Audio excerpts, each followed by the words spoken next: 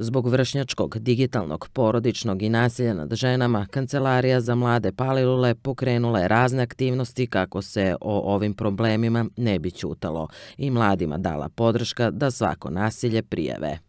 Sad radimo da, to, da stvarimo i SOS telefon koji će da bude ovde u opštini, gde će moći da nam se obrate za sve anonimno, anonimno ili kako god, e, za sve vrste pomoći, gde ćemo onda moći i da uključujemo ostale institucije. Ako je nasilje u porodici sigurna kuća, da se uključi Centar za socijalni rad.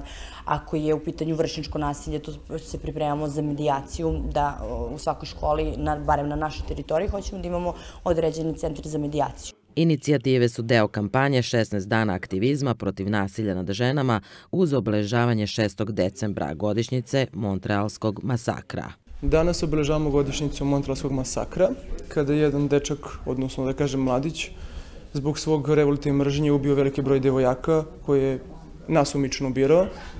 Želim samo da kažem da današnje vreme sve veći broj takvih e, scena se dešava, veliko je nezadovoljstvo mladih, e, ljudi traže neki bolji život. E, Savjetujem da kada god postoji neki problem, postoje institucije kojima možemo da se javimo, da se obratimo, da se posavetujemo, da nikada nismo sami. Mi imamo izvanrednu saradnju i sa sigurnom kućom i uvođenje i SOS telefona i sve te aktivnosti koje mogu dovesti do sprečavanja nasilja, ne samo prema ženama, nasilje je obostrana, više smerna, ovaj, nekada, tako kažemo, pod navodnicima aktivnost, ali jednostavno smanjenje agresivnosti i jedan normalan pristup života, jer svako od nas ima taj život koji nam je Bog dao, kako nama, tako i nama najbližima i onima koji nisu toliko bliski sa nama, ali moramo da poštujemo tuđe pravo na život.